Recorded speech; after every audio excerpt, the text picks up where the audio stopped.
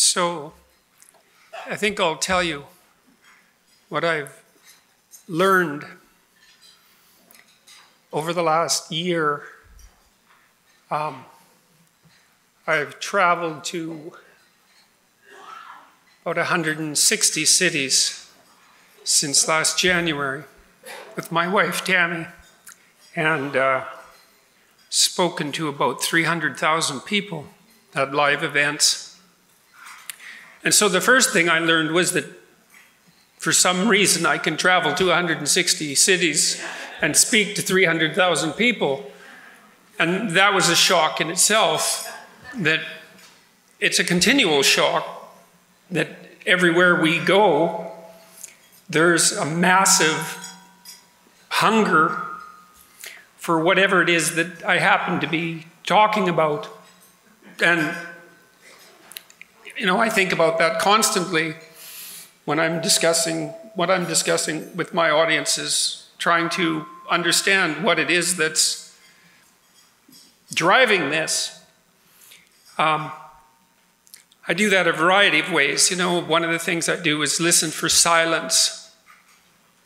If you have 3,500 people in an auditorium and they all fall dead silent, what that means is that you've touched on something of, uh, of, that's of universal importance in that moment, anyways, because it, it supersedes, the topic supersedes anything else that's being considered right? It supersedes the desire to shift your position in your chair. It supersedes the desire to whisper to your neighbor. It, it grips your attention completely and, and forces a silence.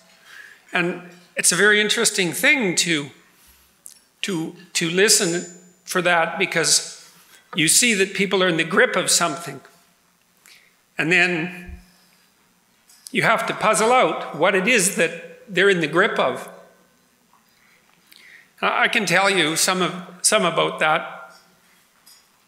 Um, you know, there's this idea that became very popular in the 1960s. I, I just talked to a bishop, a bishop, Bishop Barron, about a week and a half ago for my YouTube video channel and for my podcast. And uh,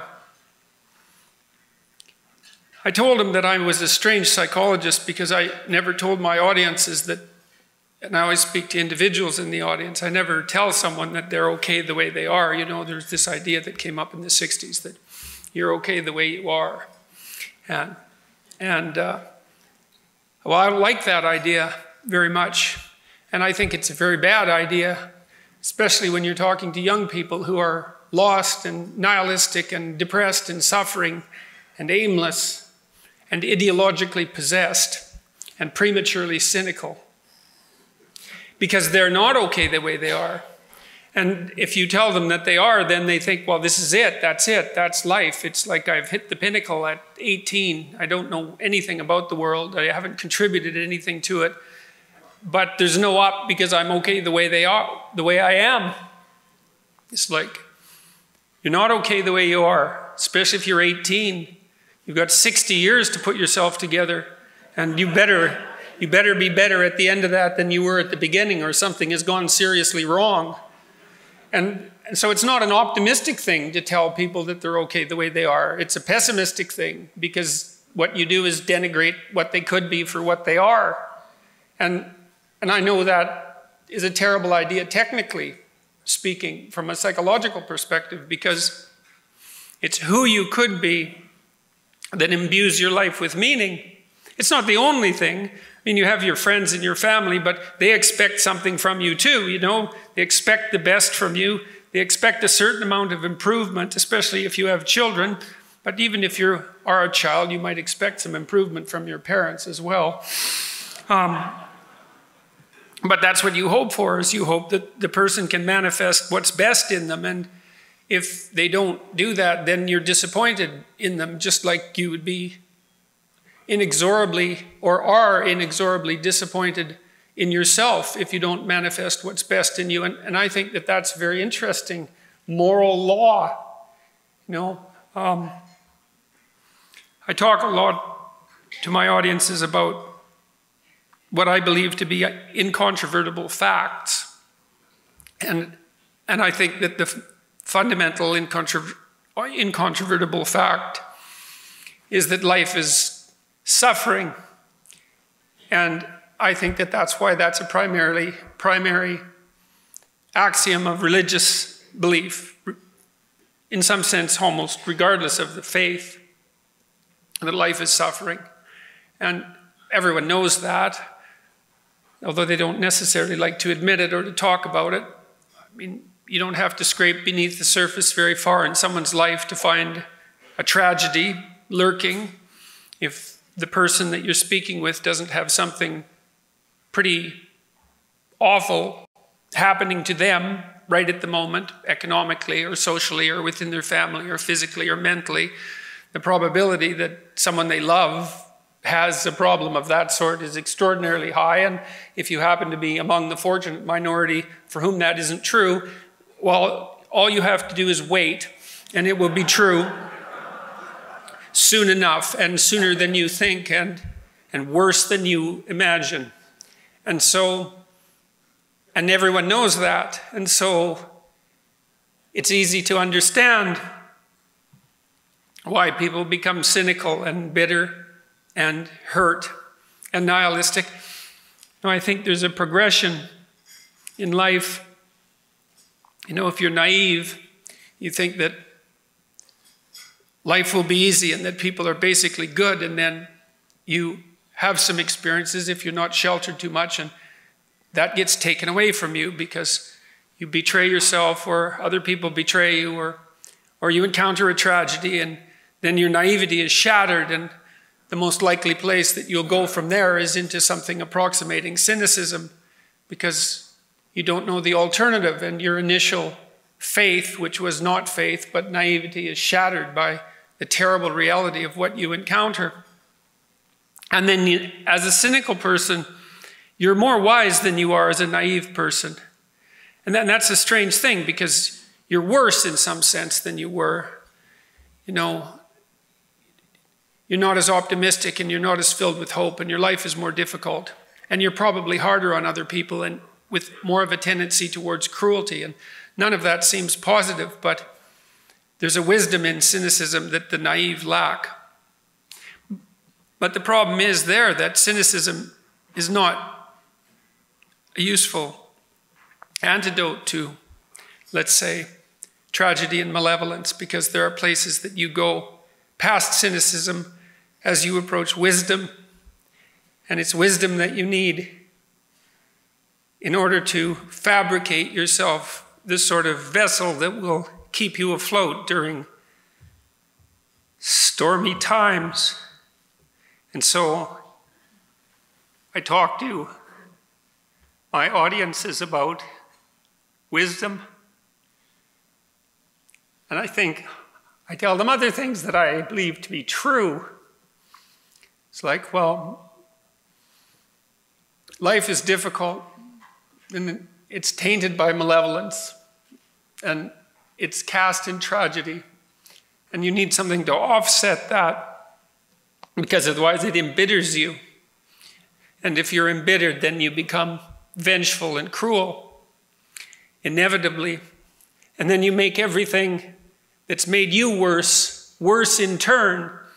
And there's no bottom to that, you know, as, as anyone who's even a moderate student of history soon comes to understand.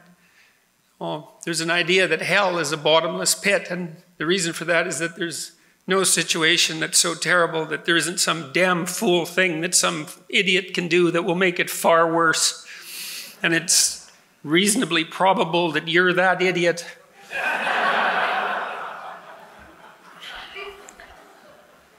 And so the question is what might constitute an alternative to that? And if there is an alternative, and you know, I learned a while back, long while back, reading religious mythology mostly, that there is a difference between thinking and paying attention, and of the two, paying attention is much more important. It's it's not the same thing as thinking. Like when you pay attention, you're looking for what you don't know. Like you you kind of detach yourself and you watch and you listen and you see if things are the way you think they are. And you, you hope they are because life is easier if, if things are the way you think they are. But if you find out that they're not and you're paying attention, then you can, you can weave and you can bob and you can adapt and you can learn. And so you have to learn to pay attention.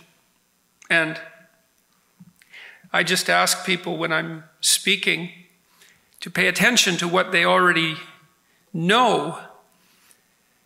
And here's something that everybody knows. You know, in a world that consists of suffering and malevolence, who is it that you admire? Or who is it that you don't admire? Those are the same question. If you know who you don't admire, well, then you have a negative model and you can go for the opposite. And if you know who you admire, well, then you can copy that. And the instinct for admiration is an instinct for imitation. And we're very imitative creatures. And our, our instinct for admiration is the instinct for imitation. And what would you call it? A deeply biologically and metaphysically rooted guideline to the proper path of life. The question is is there a proper path of life? Well, there are certainly pathways that make things worse. That's something to know. You could avoid those.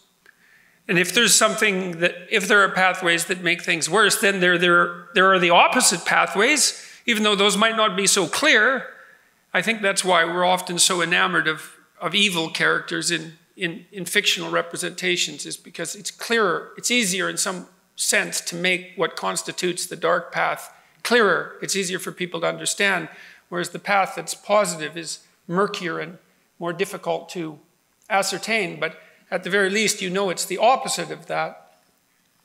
So, well, who do you admire? Or we could start by who don't you admire? Well, you don't admire an adult who won't take responsibility for himself or herself and could. You know, I understand there are people that are so broken and hurt that they need help constantly because they can't take responsibility for themselves, or they can in small ways, but not, not completely. But you don't admire someone who won't take responsibility for themselves. In fact, you have a sense of contempt for that. And if you happen to be that person, then you'll wake up in the middle of the night and berate yourself with what's left of your conscience for failing to undertake your moral duty, your intrinsic moral duty. And you can't escape that. And that's so interesting. No, that you can't escape that. If you were the creature who could invent your own values, as Nietzsche suggested, as an antidote to the death of God, then you just forgive your transgressions and you wouldn't suffer the bitter pangs of conscience, but you do. And the reason you do is because you're doing things that are wrong and you should stop and you know it, and maybe you can't.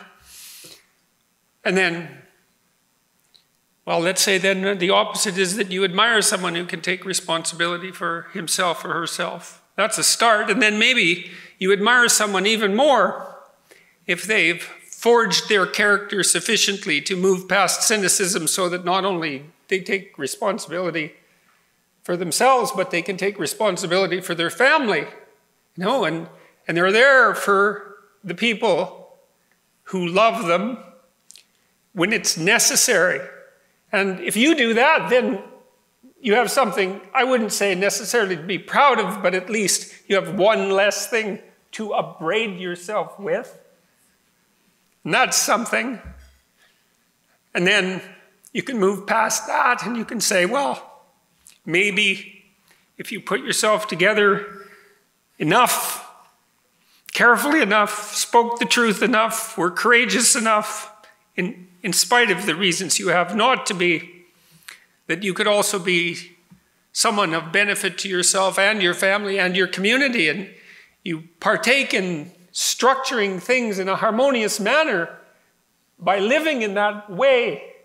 It's a, it's a it's not an individual focused ethos, it's an, an ethos of harmony among levels.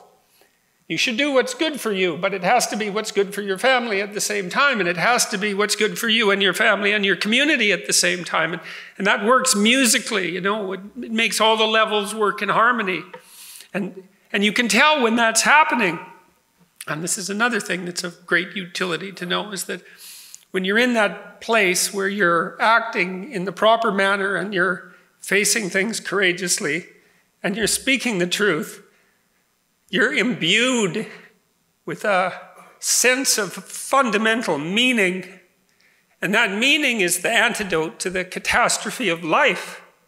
And it's the, it's the antidote psychologically because you have to have that meaning because otherwise your life is too dark and too dreadful and it will corrupt you.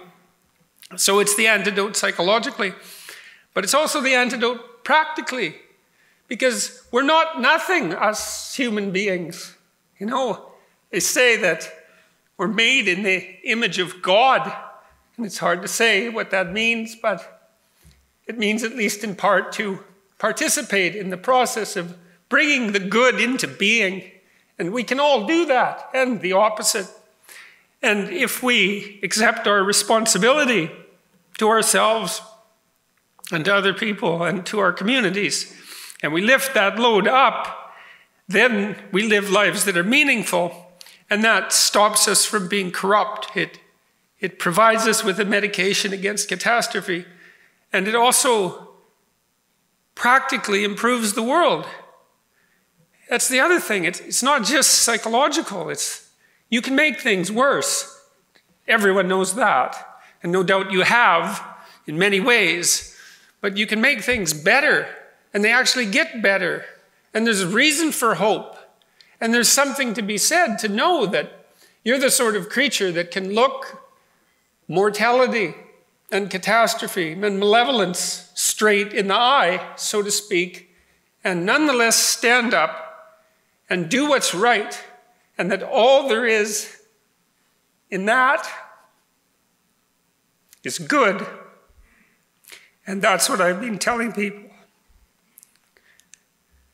Thank you very much.